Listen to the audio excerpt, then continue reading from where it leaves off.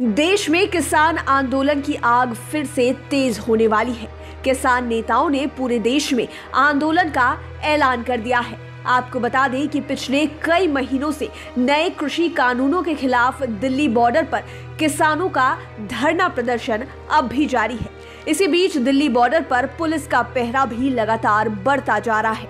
6 फरवरी को देश भर में चक्का जाम करेंगे किसान। तीनों कृषि कानून को रद्द करने के लिए देश में इकतालीस किसान यूनियनों ने 6 फरवरी को चक्का जाम करने का ऐलान किया है। किसान मोर्चा के नेतृत्व में ये चक्का जाम दोपहर 12 बजे से 3 बजे तक किया जाएगा। किसानों का कहना है कि सरकार कृषि बिलों को वापस लेने को तैयार नहीं है।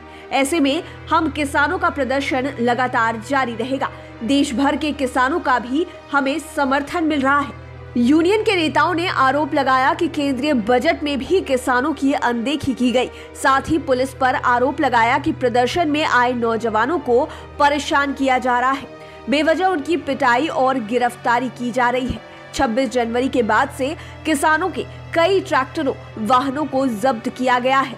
साथ ही बॉर्डर के आसपास की जगह को पूरी तरह ब्लॉक किया जा रहा है। धरना स्थल पर बिजली, पानी की आपूर्ति और इंटरनेट सेवा बंद कर दी गई है। इन सब के विरोध में संयुक्त किसान मोर्चा ने फैसला लिया है कि 6 फरवरी को देश भर की मुख्य सड़कों पर दिन के 12 बजे से 3 बजे तक कोई गाड़ी नहीं चलने दी जाएगी। ऐसे में उम्मीद की जा रही है कि 6 फरवरी को होने वाले चक्का जाम का असर पूरे देश में देखने को मिलेगा। सिंधु बॉर्डर पर बढ़ाई गई पुलिस।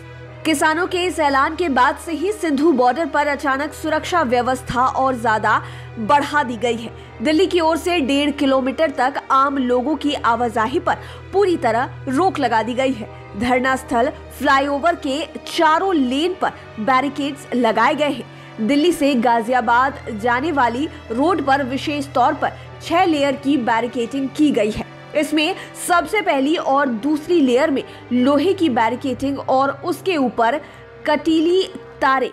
तीसरी लेयर में कंक्रीट के तीन फुट ऊँचे दो स्लैब को आमने सामने रखकर उनके बीच में लगभग दो फुट ऊंचाई तक सीमेंट और कंक्रीट का मसाला भरा गया है, जो तीन फुट ऊँची, डेढ़ फुट चौड़ी दीवार बन गई है।